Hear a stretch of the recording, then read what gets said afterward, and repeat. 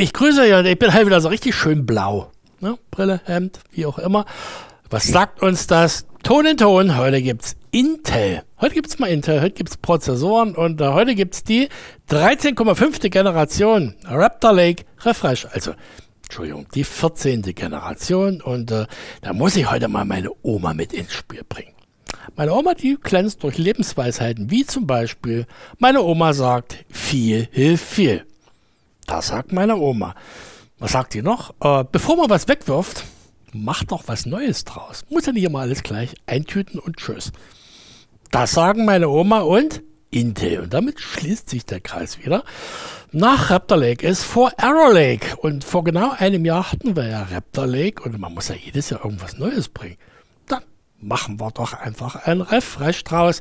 Schnappi-Refresh ist heute. Schnappi-Time. Das sagt Intel. Da schweigt meine Oma allerdings, weil dazu hat sie nichts zu sagen. Und äh, was hat sich geändert? Auf dem Datenblatt steht ein bisschen mehr Takt für alle. Und äh, bei einer CPU gibt es noch ein paar mehr Efficiency-Kerne, also Effizienzkerne. Zumindest auf dem Datenblatt. Äh, doch nichts im Leben ist umsonst. Das sagen wiederum meine Oma und der örtliche Energieversorger. Und äh, genau das sollte das, das, das Thema sein oh, wieder gestottert, es ist um 8. Äh, ja, wie viel mehr muss ich am Mainboard, hinten am EPS-Anschluss, da reinstecken, damit hinten an der Grafikkarte am HDMI oder Displayport noch ein paar mehr Pixel rauskommen? Das ist die heutige Frage und vor allen Dingen, wie steht das Ganze im Verhältnis zueinander? Lohnt sich das noch oder lohnt sich es nicht? Das war meine kleine Einführung und äh, ich mache, bevor ich jetzt den Cut mache und auf die einzelnen Prozessoren komme, ich will es heute mal nicht ganz so lang machen. Da unten ist die Homepage verlinkt. Auf 13 Seiten stehen alle Einzelmetriken, die ganzen Workstation-Tests im Detail, alles Mathematik und Finanzen und dieses und jenes. Bitte guckt es euch an. Wer es im Detail haben möchte, der Rest guckt heute einen nicht ganz so lang Film, also einen fast Kurzfilm. So. Kiste Intel das ist eine Influencer-Box. Jetzt bin ich natürlich kein Influencer, aber ich habe es ja mal hergestellt, weil, äh, naja, nach über zehn Jahren Abstinenz durch Intel, äh, so eine kleine Blacklist-Geschichte, äh, habe ich es dann doch mal wieder gekriegt. Also seit Raptor Lake bin ich ja auch wieder mit dabei. Aber ich habe meine üblichen Kanäle bemühen müssen. Warum? In dieser Box sind nur zwei CPUs drin. Einmal der neue i9 14900K und ein i5 14600K. Mit denen habe ich auch die Tests gemacht und da gibt es ja noch ein i7, 14700K. Eigentlich für alle eine interessante CPU, die fehlt aber in dieser Influenza-Kiste. Ja, meine ganzen Kanäle wieder so ein bisschen rumtelefonieren und gesagt, komm, ich brauche auch mal den. Habe ich mir natürlich jetzt noch einen besorgt, kann man sich ja auch kaufen. Kann man sich auch vorab kaufen, wenn man weiß, wo man es kriegt. Äh, ich hatte es bis jetzt immer. Ich habe es auch weiterhin so gesehen. Alles fein. Wir haben also heute drei CPUs im Test. Ja, und äh, warum? Man kann ja noch spekulieren. Warum lässt Intel die eigentlich, äh, sagen wir nominell interessanteste CPU weg? Hm, vielleicht habe ich ja die Begründung. Schauen wir mal. Das kommt heute im Video. Dann habe ich mir aus Plausibilitätsgründen mal von einem bekannten Händler auch noch einen i9 14900K Retail besorgt, also nicht den gesampelten, sondern einen richtigen habe mal gegengetestet.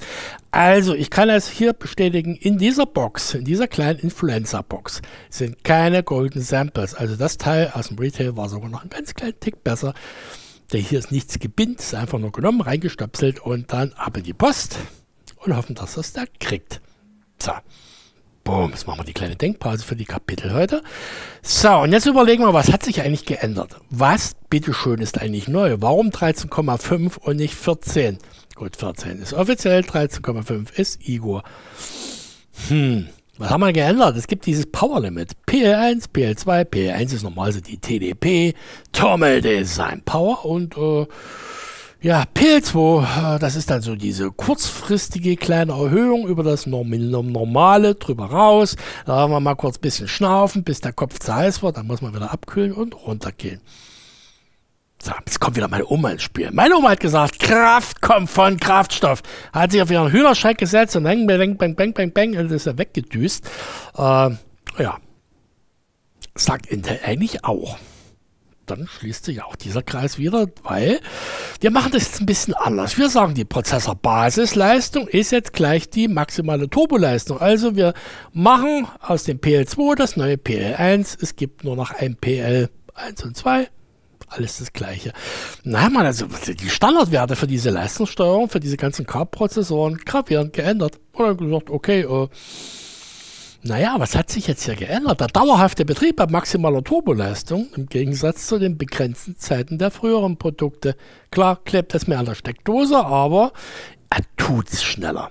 Warum hat Intel das jetzt gemacht? Jetzt sagt Intel, okay, äh, wenn die Mainboard-Hersteller das bei der 13. Generation ja auch schon so gemacht haben, wir haben gesagt PL1 und PL2, die haben das aber nicht gemacht, die haben das einfach gleichgesetzt, dann machen wir das jetzt auch. Das heißt, wir machen alles das, was früher nicht in den Specs stand, also im Datenblatt. Hm, das fangen wir jetzt ein und machen das einfach offiziell. Das heißt also, das, was vorher nicht in den Specs war, ist jetzt offiziell in den Specs. Das heißt, rein theoretisch äh, sind wir wieder da, wo wir früher waren, bloß inoffiziell und inerlaubt. Das ist alles. Und äh, ich meine, höhere Taktraten machen ja mehr Performance. Schnappt natürlich auch ein bisschen mehr Strom. Aber Intel hat halt festgestellt, unter diesen geeigneten Bedingungen, was sind jetzt geeignete Bedingungen, neue Motherboards, schöne Spannungsversorgung, VRM, gekühlt, bla, blub, ähm, und ein ordentliches Netzteil und vor allem eine richtige Kühlung für den Prozessor. Also unter diesen geeigneten Bedingungen äh, kann man die ja auch bei diesen erhöhten Grenzwerten noch sicher betreiben. ja, könnte man. Kann man auch und äh, die haben ja schon bei der 13. Generation, also Raptor Lake ohne diesen kleinen Schnappi-Refresh, äh, ein sogenanntes Extreme Power Delivery Profile eingeführt. Klingt recht, richtig viel Strom, ist es auch.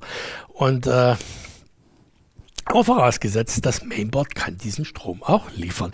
Das hat man auch auf die 14. Generation mit rübergenommen und äh, ich sag's nochmal, obwohl die PL1, PL2 und ICC Max, erkläre ich gleich noch, Werte höher sind als in der Spezifikation der 13. Generation angegeben, liegen sie nun in der 14.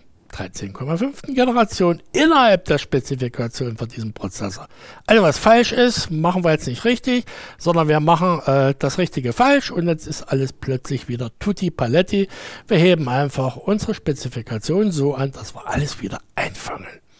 So, jetzt kann man diesen Strompegel auch über das BIOS festlegen. Jetzt zeige ich das mal mit diesem ich sag's deutsch, ICC Max. Das ist der maximal fließende Strom. Das steht in jedem BIOS auch ein bisschen anders drin.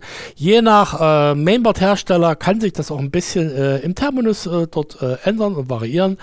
Müsst ihr halt mal reingucken. Das ist ein Ampere-Wert und äh, der steht meistens unter dem PL1 und PL2 dort in diesem UEFI. Ist ja kein BIOS mehr, es ist ein UEFI. Äh, schaut halt rein. früher 307 Ampere das war, das ist das normale Performance Power Delivery Profile für den 14.900K. So ist es also theoretisch drin. Es sei denn, wir wollen jetzt mehr Power haben, dann kann man diesen ganzen Spaß auf 400 Ampere anheben und es gibt Mainboards, die machen das leider schon out of the box. Da stellst du was ein, 253 Watt, puff, kriegst du diese 400 Ampere da drauf gedrückt. Da, ich habe jetzt eins gesehen, äh, ich sage jetzt mal keine Namen, da ging es bis 700 Ampere. Nee, das geht gar nicht. Also das ist jetzt schon ein bisschen äh, too much, sagen wir es mal so. Das zu dem Punkt, also wir haben im Hintergrund, dürfen die Ströme mehr fließen, wir stellen 253 Watt ein, sagen aber, wenn keiner hinguckt, lass laufen. So, damit wir auch wissen, wo nachher die Werte herkommen. Mehr dazu, Badge da unten, Homepage gucken. So. Jetzt kommen wir zu den einzelnen CPUs im Überblick. Habe ich mich schön kurz gefasst. Einer von den dreien, das ist der größte, der i9. 14.900K, was hat er? 24 CPU-Kerne, 8 Performance-Kerne und 16 Effizienzkerne. Macht unterm Strich 32 CPU-Threads, weil die 8 können Hyper-Threading, sind 16 Threads und die 16 Effizienzkerne können kein Hyper-Threading. Threading. Threading. Ähm, damit sind es halt 32 Threads. So, 36 MB Level 3 Smart Cache. So, heute ist alles smart. Und äh, 32 MB Level 2, also der ganz normale Level 2 Cache. Und äh, ja, der Max Turbo für die Performance Cores, der geht auf 6 GHz, ist quasi also verkappter 13.900 KS. Da hat man den verkauft und gemerkt, oh, lässt sich ja gut verscheppern. Machen wir es da gleich mal offiziell und benahmen das Ding um, benahmen sie. Und äh, was ist drin? Eine 770 äh, UHD-Grafik, also diese integrierte Grafik und äh, 20 PCI Express Lanes haben wir auch noch und wir haben DDR5 5600 mindestens und DDR4 3200 äh, auch mindestens unterstützt. 3200 Megahertz. Das heißt, es sind zwei Speichercontroller drin und man kann maximal 128 GB dazu stöpseln. So, das mal ganz kurz äh, zu dem 14.900K und diese P1, PL2, 253 Watt und je nach Gusto 307 oder 400 Ampere kann man sich einstellen. Eine KF-Version gibt es auch noch, die hat dann keine integrierte Grafik mehr nutzbar und äh, eine Nicht-K-Version gibt es auch noch. Jetzt gehen wir mal eine Runde tiefer. Was haben wir da Feines drin? Wir haben einen i7 14700K mit 16 Kernen. 16 Kerner?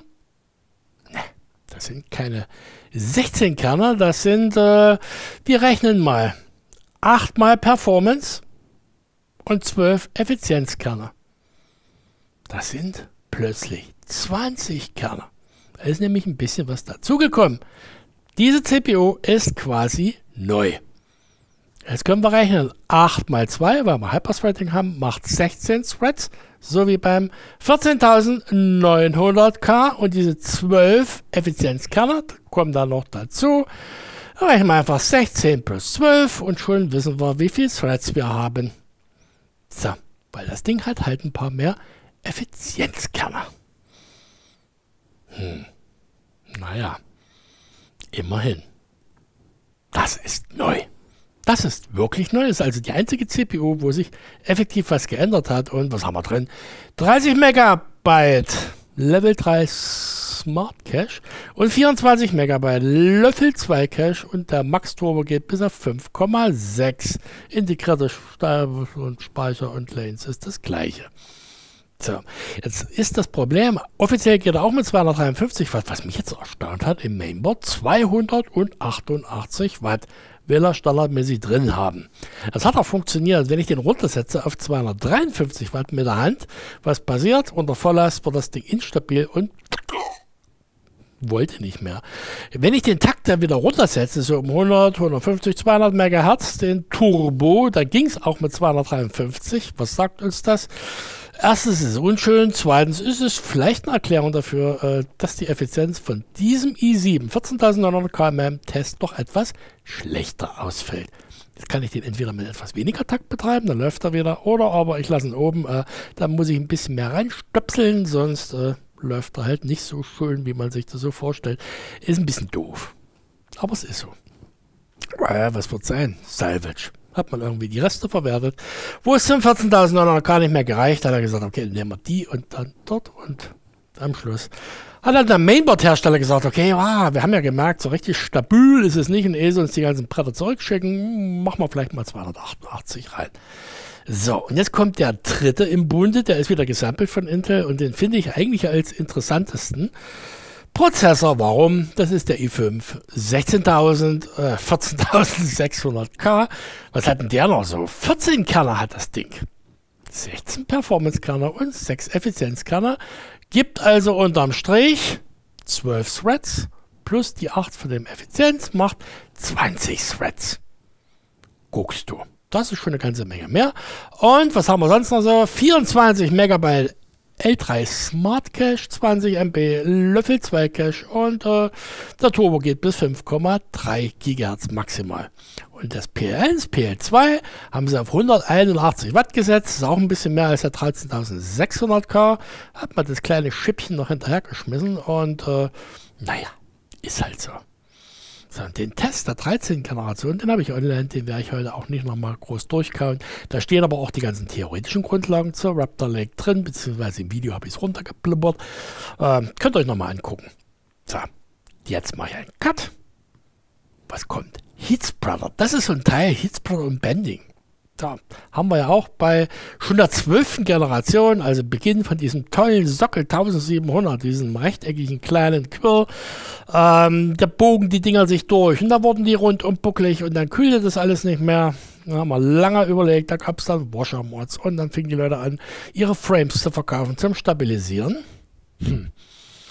Will ich heute nicht groß thematisieren, aber ich will euch mal erklären, warum ich ausgerechnet ist jetzt nicht die teuerste und die schönste und die mit dem meisten RGB. Ich habe mir von Be Quiet einfach eine Silent Loop 2 gekauft, drauf gestöpselt und äh, das muss ich euch mal zeigen. Die hat nämlich nur zwei Befestigungspunkte für den Kühler in der Mitte und zwar genau dort mittig auf der Längsseite der CPU, wo sich der Arretierungsmechanismus des Verschlusses befindet. Das heißt, also da, wo der Verschluss draufdrückt, wo sich normalerweise äh, auch die CPU dann nach oben buckelt, genau da kannst du bei der Pure Loop äh, deine um diesen Kühler, ist ja keine Pumpe, die ist woanders, kann man da festschrauben, dann drückt es das Ganze wieder ein bisschen runter. Ähm, wie bin ich da drauf gekommen? Es war eine Messung. Ich habe das einfach äh, nach dem Benchmark, den 14.900K, habe ich mir geschnappt, habe gedacht, mal gucken, da war ja vorher richtig plan, habe ich getestet, Haarlineal, war alles tutti. Ähm, dann habe ich überlegt, okay, Oh, schauen wir uns das Ding doch mal an. Ist es jetzt wieder krumm? Nö. Ich habe weder eine externe Backplate, so eine richtig dicke fette, noch habe ich irgendwo ein Frame draufgeschmissen. Na, ich habe das ganz normal mit dem Original Befestigungskit gemacht. So, jetzt schaut euch mal das Höhenprofil an. Das lege ich jetzt einfach mal im Vollbild drüber. Das müsst ihr euch mal angucken. Die Höhe ist links, mittig, rechts identisch. Wir haben also keinen Buckel. Ich habe ja einfach mal über die Längsseite gemessen, habe geschaut, ist es jetzt in der Mitte hochgeschoben? Nö, ist es nicht.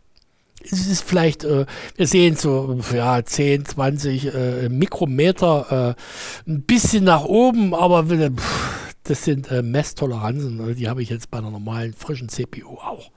So, das mal vorab, also wenn man es richtig festschraubt, bändet sich auch nichts mehr. Und der zweite Punkt ist die Oberflächenbeschaffenheit. Äh, ich habe ein schönes Equipment, kann man gucken. Äh, Mikroskop, 2000-fache Vergrößerung. Guckt euch das mal an. Auch das klatsche ich euch jetzt hier mal im Vollbild vor meinen Revuekörper. Was sehen wir da? Ein schönes Gebirge. Das sieht so aus wie, äh, ja, Alpenvorland.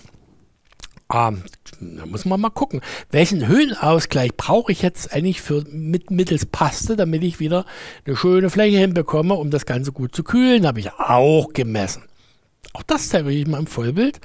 Ich meine, was haben wir jetzt hier? Wir sehen das Ganze bis zu zwei Mikrometer Gebirge. Klingt nicht viel, ist aber eine ganze Menge, wenn ich jetzt die normalen Past nehme. Äh, naja, die Körnungsgrößen in so einer Paste, wir haben, wenn sie gut gemacht ist, erinnern wir uns an die Greenout Extreme.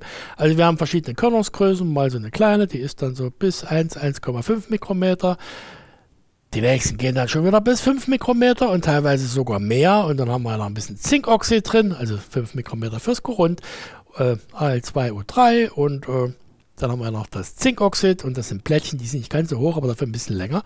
Äh, das heißt, eine richtig gute, feine, gemahlene Paste mit weniger groben Körnern, sondern lauter kleinen, schönen, geschliffenen Korenkügelchen wird hier deutlich besser sein und besser performen. Vielleicht ist es sogar unterm Strich billiger. Sie hat weniger Watt pro Meter mal Kelvin. Unterm Strich ist er aber zweckmäßiger. So, aber gut, das wissen die Hersteller meistens nicht, weil die kriegen es ja auch bloß abgefüllt. Dieses Höhenprofil ist aber ganz interessant. Und ja, aber gedacht, der wird ja schon oben gemessen, dann messen wir mal rein. Dann habe ich meinen Laser losgeschickt und habe da mal ein bisschen gebohrt und habe natürlich auch eine schöne Materialanalyse gemacht. Auch das zeige ich euch nochmal im Vollbild. Obendrauf eine ganz dünne Nickelschicht, die ist wirklich nicht dick. Zweimal Laser drauf, bumm, weg ist sie. Ähm, sind wir auch im Mikrometerbereich. Was haben wir dann? Den Übergang. Nickel zum Kupfer ist ja galvanisiert. Das sammelt sich dann so langsam an, bis es eine homogene Schicht wird. Und unten drunter haben wir einfach 100% Kupfer. Also immer schön die Deckel sammeln, abgeben, Geld kassieren. So, mal ein Cut. Haben wir den Heatspreader auch durchgewurstelt. Immer schön Homepage gucken, da steht's drauf. Und jetzt kommen wir zu dem, was ihr immer schon wissen wolltet. Die Gaming Performance fangen wir an. 720p, also diese 1280 x 720 Pixel. Ja, Kinder, das muss eben sein. Jeder will das wissen. Ich bin jetzt auch leid, dann ständig, stets und ständig über die Settings und Auflösung äh, zu diskutieren und euch das zu erklären. Ich habe einfach alle vier Varianten gemacht, also 720p, 1080p, 1440p und 2160p, also unser Ultra HD. Das geht heute von Mäusekino bis Breitband Kino. Richtig. So, also alle vier.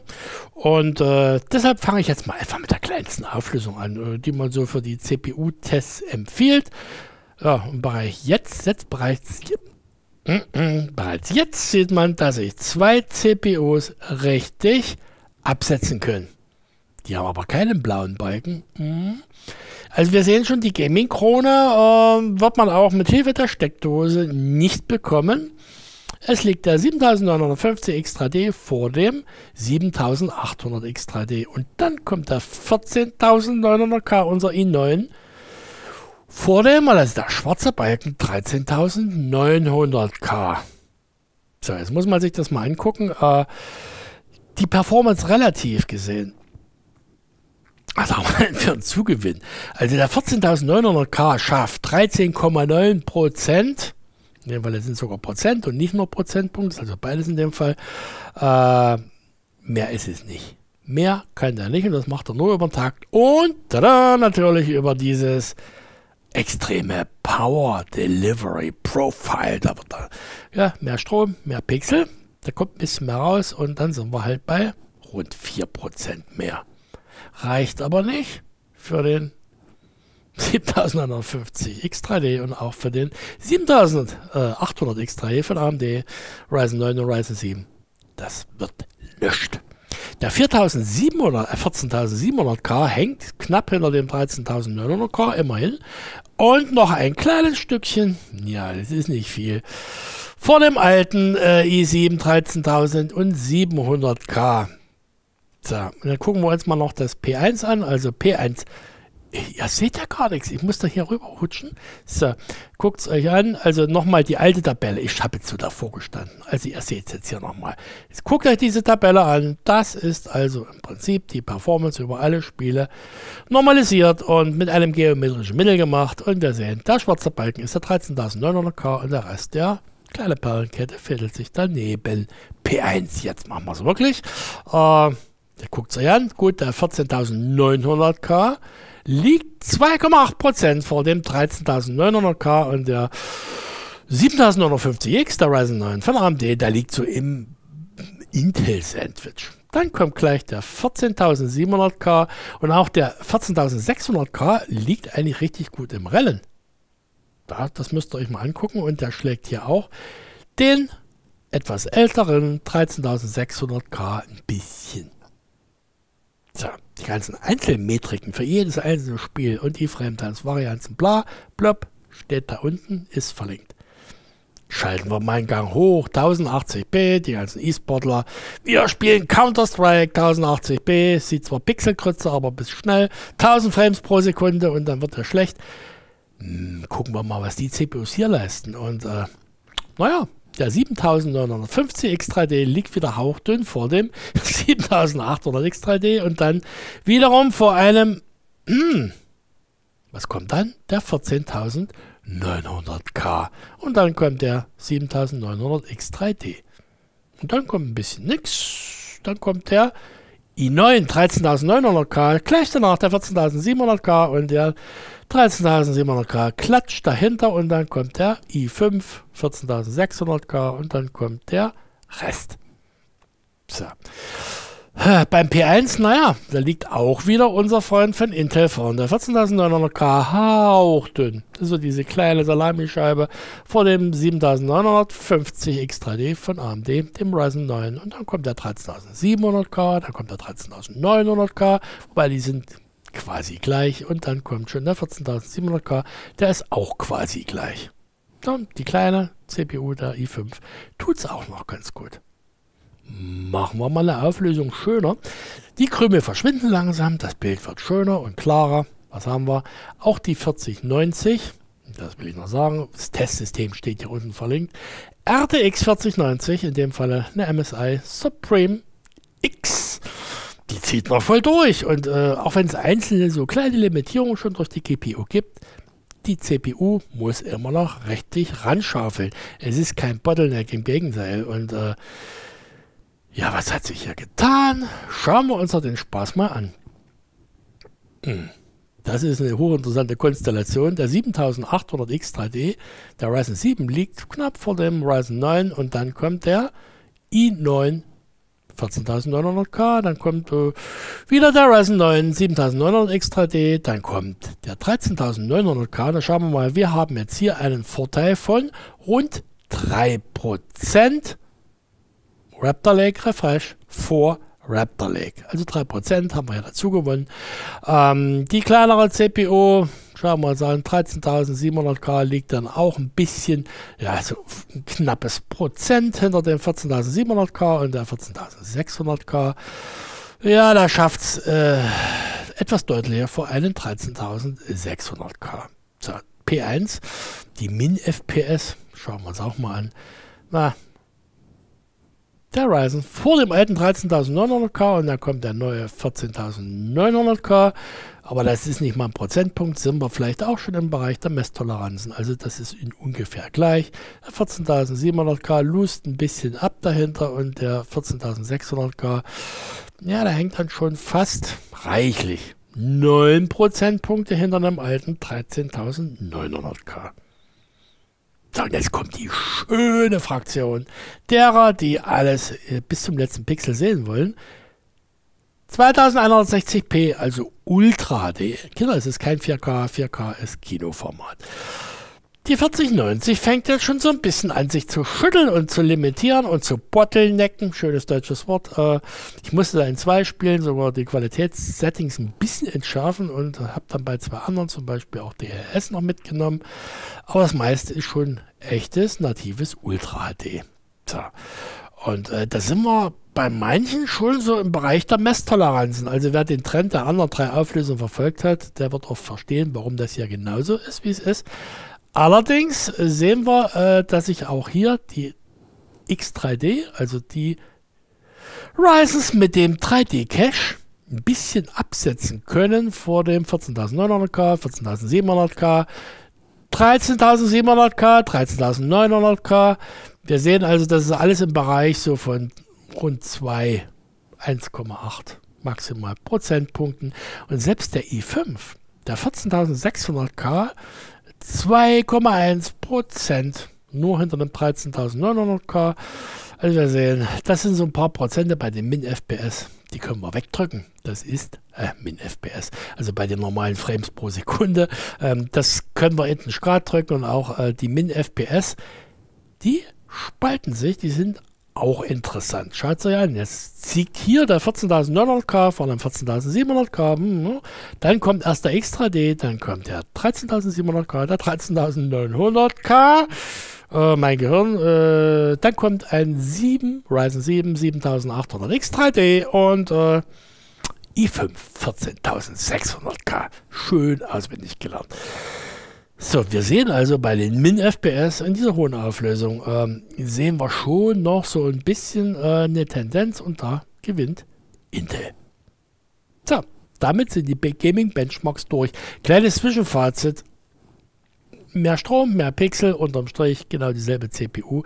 Ich glaube, es ist nichts, was man mit einem alten Prozessor der 13. Generation und so ein bisschen Geschick im UEFI auch nicht hätte selber hinbringen können. Und die letzten Dinger da aus dem Retail, die sind wirklich gut. Also wir haben festgestellt, äh, das, was es jetzt noch als 13. Generation neu im Laden zu kaufen gab, äh, ist im Endeffekt schon deutlich besser als die äh, am Anfang gebinden äh, von vor einem Jahr. Hat sich also der Prozess im Laufe dieses Jahres etwas verbessert. Genau deswegen haben die Dinger ja auch einen neuen Stempel gekriegt, ohne dass sich Intel irgendwas einfallen lassen musste.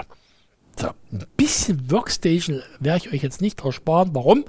Ich will euch mal zeigen, dass das Ganze trotzdem noch Probleme bietet, weil wahrscheinlich auch Windows erstmal lernen muss, mit dieser 13,5. Generation umzugehen. 14, Entschuldigung. Und äh, auch die Programme. Und da gibt es Compiler-Optimierung, was es so alles gibt. Und Geile ist ja, äh, alle stürzen sich auf die Spiele und die Spiele und die Spiele und die Spiele und die Spiele. Ja, aber nimmt man eine richtige Applikation, dann wird er feststellen, Manchmal ist die 13. Generation besser als die 14. Generation. AutoCAD 2023, ich habe den Catalyst Benchmark Run mal ein bisschen angepasst und habe es mit AutoCAD 2023 laufen lassen. Ist mit den älteren Versionen übrigens nicht viel anders. Schaut euch an. 13.600K in der 3D-Performance. Muss natürlich dazu sagen, hier laufen sehr wenige Threads. Also eine Multikern-CPU ist hier so ein bisschen äh, auch im Nachteil. Das Programm ist jetzt nicht so, dass man da gleich äh, ja, voll die Parallelisierung reinballert. Nö, äh, 13.600K vor 13.700K vor 13.900K und dann erst kommt der 14.700K, der 14.900K. Ja, je mehr Kerne, umso lahmer wird es, ein bisschen Overhead. Und dann kommt erst der 7950X und diese X3D-Prozessoren, die spielen hier in dem Fall gar keine Rolle, weil sie damit nicht klarkommen und weil AutoCAD wahrscheinlich wieder mal auf dem falschen Kern läuft. Kann ja sein, ist halt 3D, dann sagt da sagt Ryzen, oh, ich nehme den X3D, der hat weniger Takt, aber ist schöner und dann geht es trotzdem in die Hose. Das ist ein bisschen Shading, da braucht man das. Mit dem Cache eigentlich nicht, deswegen hängen die da unten. Aber wir sehen, der alte Intel ist, was heißt alt? Ja, ohne Refresh ist ein bisschen schneller als der mit Refresh. Und wenn ich mir die 2D-Performance anschaue, ist es ähnlich. Aber hier, 2D-Performance, muss ich das mal erklären. Also das sind alles Dinge, die gehen direkt durch den Prozessor durch. Die sind auch wieder extrem taktabhängig. Warum ist jetzt aber bitteschön der 13.900K um so viel schneller als ein i5 14.600K, da kommen wieder 13.700, 13.600, 14.900, 14.700K, das geht dann so ein bisschen noch nach unten. Gut, sind jetzt keine großen Unterschiede. Es ist jetzt nichts, wo du sagst, okay, das sind jetzt hier halbe Galaxien dazwischen, aber es ist ein Trend und das lässt sich auch äh, messen. Das ist AutoCAD. Nehmen wir Inventor Pro, habe ich auch gemessen und äh, der Impfmarkt ist eine schöne Geschichte. Ist natürlich sehr Intel-lastig, aber schauen wir uns das an. Haben wir das nicht gerade eben gesehen? 13.900K vor 13.700K vor äh, 14.900K bis zum 14.600K. Klar, kleben die alle oben, aber Total Score, also die Gesamteinschätzung, gewinnt alt gegen neu. Guckst du. Dann kann man das natürlich nochmal aufdröseln. Gucken wir uns mal die Single-Thread-Performance an. Äh, hat sich ja was geändert? Nö. 13.900 K. Ich, ich lasse das jetzt, ich zähle das nicht auf, ihr seht es ja im Hintergrund. So, Multithread Performance. Da, selber Satz. Äh, gut, äh, der 14.600K rutscht ein bisschen nach unten durch, weil da halt nicht so viel Kerne, aber unterm Strich Tendenz die gleiche. So, schauen wir mal, machen wir was anderes. Schicken die mal richtig arbeiten auch ein bisschen Rendering, Cinebench, Blender und Lux Render. Schauen wir mal. Und äh, gut, ich habe jetzt extra den R23 genommen, den Cinebench und nicht den ganz neuen. Will mal ein bisschen auch vergleichbarer bleiben. Was sehen wir? Jetzt kommt die Krone. Ja, Intel hat es geschafft. Ein kleines Krönchen. Wir haben es also hinoptimiert auf den Cinebench. Äh, da gewinnt der 14.900K erstmals vor dem Ryzen 9 7950X und dann kommt erst der 13900K. Allerdings ist hier Schluckmatismus angesagt, komme ich aber nachher noch drauf. Dann kommt der 14700K und so ziemlich da unten ist dann der 14600K. Aber alle neuen sind hier besser als die alten, also 13,5 vor M14 vor 13. Immerhin. Das haben sie im Cinebench geschafft. Gucken wir uns mal die Single Thread Performance an. Da sieht es dann so aus, 14.900K, da ist auch wieder der Takt ausschlaggebend. So, da kann man sagen, okay, haben wir die Cinebench weg, ne? 5 Messungen, 20 Ergebnisse. Nehmen wir mal Blender und meinen Ego-Bot. Das ist eine recht fiese Geschichte, weil das Ding ist extrem gut ausmodelliert.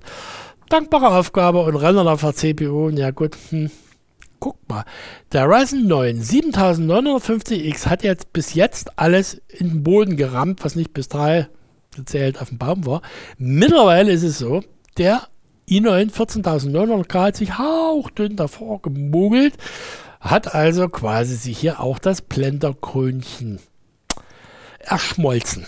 So, danach kommt, wie gesagt, der Ryzen 9 und dann kommt gleich der i9 13900K. 14700K macht, was er machen soll, ist also ein bisschen schneller als alt. Und auch der 14600K ist schneller als der 13600K. Lachs macht genau dasselbe, nenne ich ganz. Hier gewinnt wieder AMD vor dem 14900K und knapp vor 13900K. Sieht so ähnlich aus, aber die Performance-Krone haben sie nicht gekriegt. Leistungsaufnahme und Effizienz beim Gaming. Und habt das gemerkt? Tja, hat mal kurz geklingelt. Ich musste mal schnell raus. Wir haben also einen kleinen Cut hier dazwischen, einen richtigen schönen Cut im Video.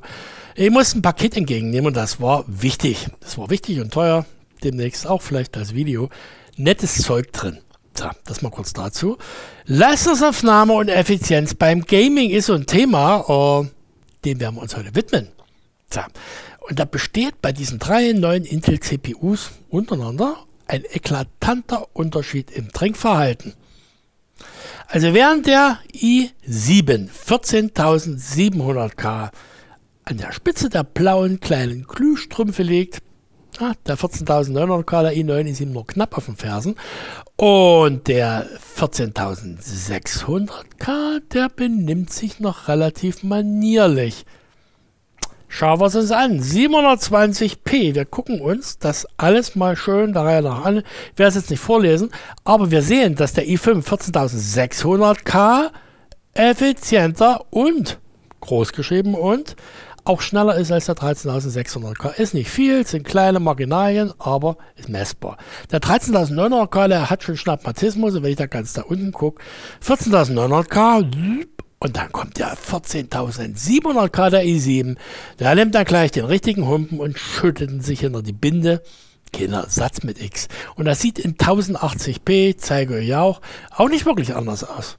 Guckt euch die Balken an, es hat sich nichts geändert. Und dann gucken wir uns 1440p an, also WQHD, hat sich hier was geändert? Nein! Gut, die Wattzahlen, aber das Verhältnis der Trend, ne? oh. Die kausale Kette, das bleibt gleich. Und dann gehen wir mal nach Ultra HD abschließend. Dann sehen wir, hm, nur eine CPU ist jetzt ganz hinten, nämlich der pff, immer noch der 14700K, aber der 7900X, der Ryzen 9, der hat sich dann zwischen den 14900K und den 14700K geschoben. Aber im Endeffekt, auch hier ist die Reihenfolge wieder mal so ziemlich die gleiche. Da muss man das natürlich auch im Verhältnis zur Effizienz sehen. Also nicht nur, was wird geschnappt, sondern was wird auch dafür geliefert. Weil es kann ja sein, wer mehr isst, arbeitet auch mehr. Ähm, gucken wir uns das an. 14.600K liegt vor dem 13.600K. Der liegt gar nicht mal schlecht. Natürlich die ganzen 3D-Cache-CPUs von äh, AMD, diese X3D liegen natürlich alle noch davor. Hm, klar. Äh, da klappt dann auch die Kernzuordnung richtig gut und äh, unsere kleine ja, der 14.700K ist ein Fall fürs Trinkerheim und der 14.900K ist eigentlich auch nicht viel besser. Die ganz da unten.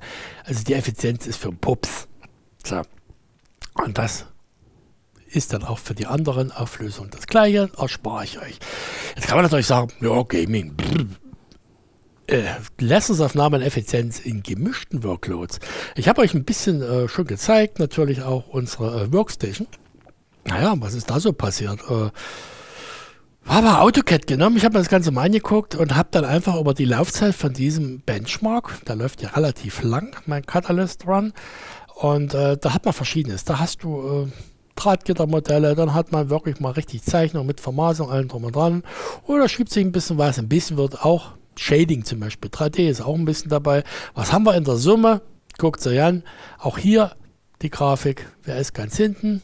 Hm, 14.900K. 13.900K und 14.700K liegen hinten und unser 14.600K, da liegt richtig gut im Rennen. Jetzt habe ich das mal umgerechnet. Ich habe da meine Score Points rausgerechnet, dann habe ich die umgerechnet und habe mal geguckt, äh, wie viel Score Points pro Watt kriege ich denn raus? Das ist ja nicht nur die Frage, was du säufst, sondern was du dann auch dafür leistest. Und da liegt der 14.600K an zweiter Stelle hinter den 13.600K. Wir haben ja gesehen, dass die CPU die 14. Generation ein bisschen schlechter performt als die 13. in dieser Suite. Das heißt also, hier stimmt dann auch in etwa die Effizienz überein. Halt bloß ein bisschen eingebremst. Und wer ist ganz hinten? Noch 13.900K, 14.700K und 14.900K. Hm, schön ist es nicht. Volle Leistung beim Rendern. Jetzt kann man ja all in. Gehen wir da mal rein und gucken uns den Spaß mal an. Äh, boah. 14.600K ist noch so hm, irgendwie in der Mitte, aber guck dir das mal an. So, so, so ein 7.950 X3D frisst auch nicht viel weniger, ist aber deutlich performanter und ganz unten 14.900K, 13.900K.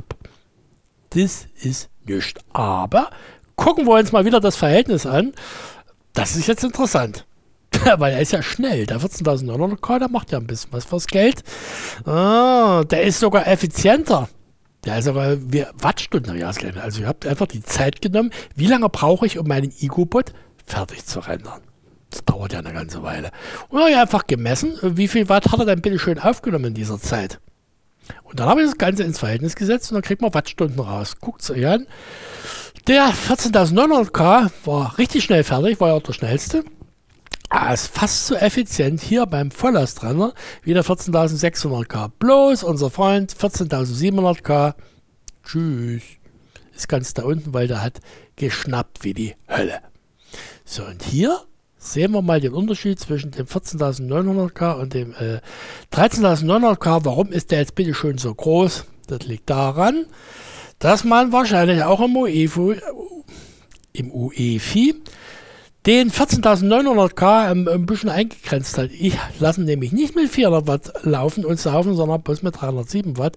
Und das passiert beim 13.900K nicht. Der darf hier all in rein und durch. Und das ist genau das, was dann da hinten rauskommt.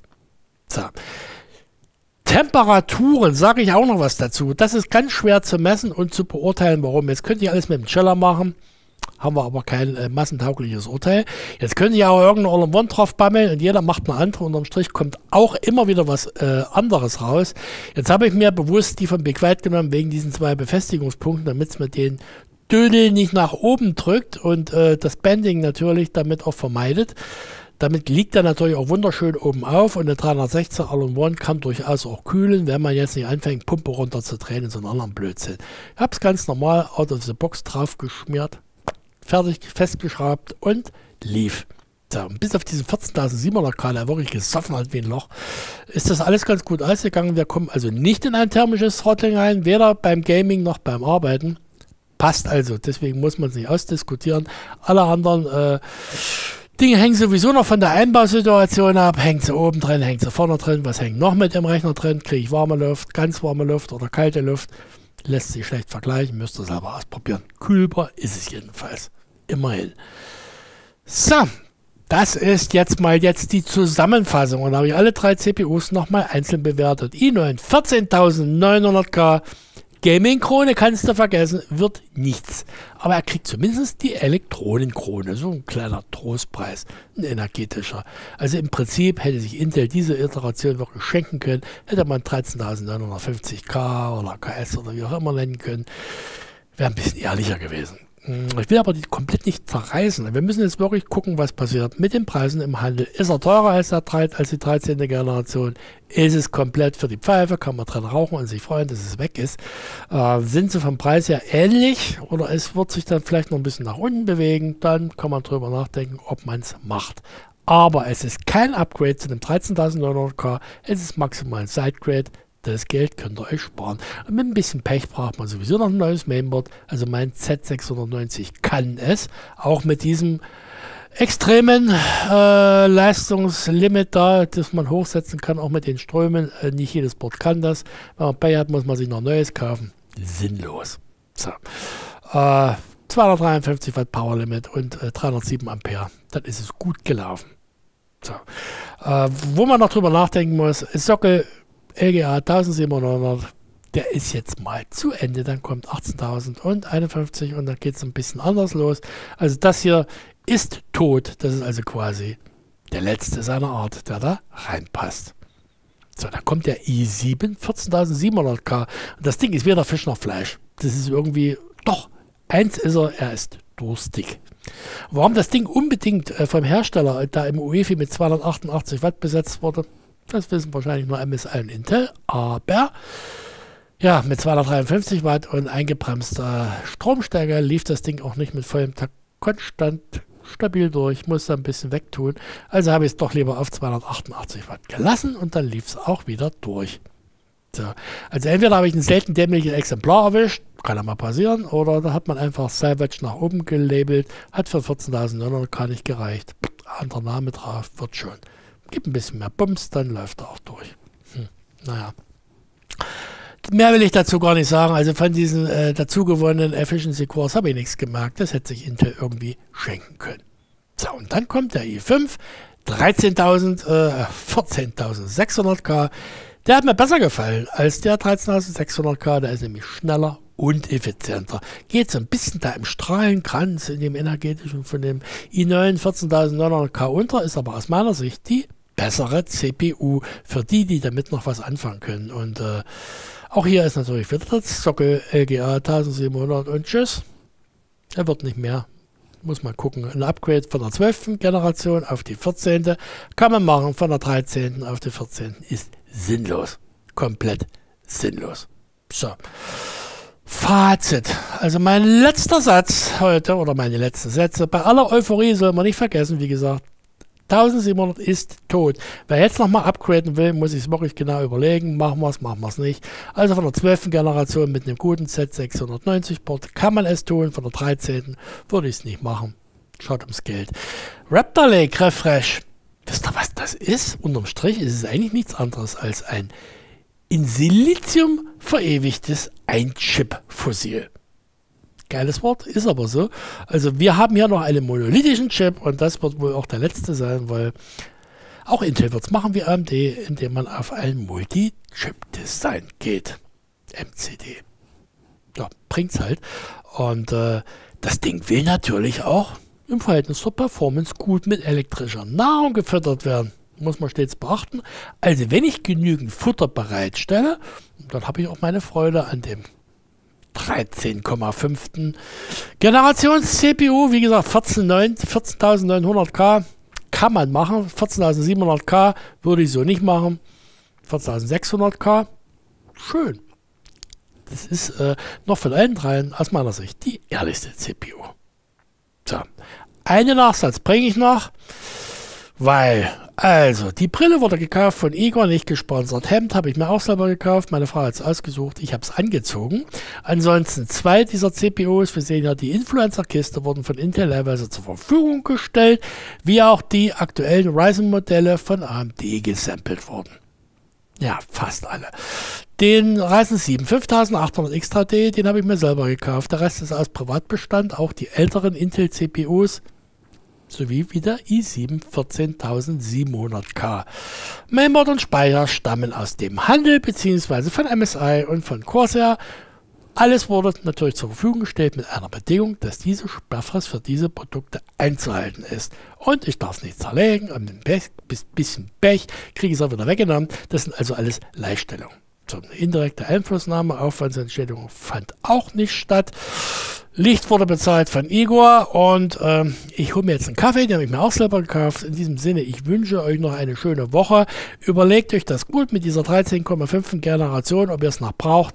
Upgrade von der 12. Generation ja. Upgrade von der 13. Generation eher nein. Der Einzige, der sich da freut, ist Intel. In diesem Sinne, ich wünsche euch eine schöne Woche. Tschüss.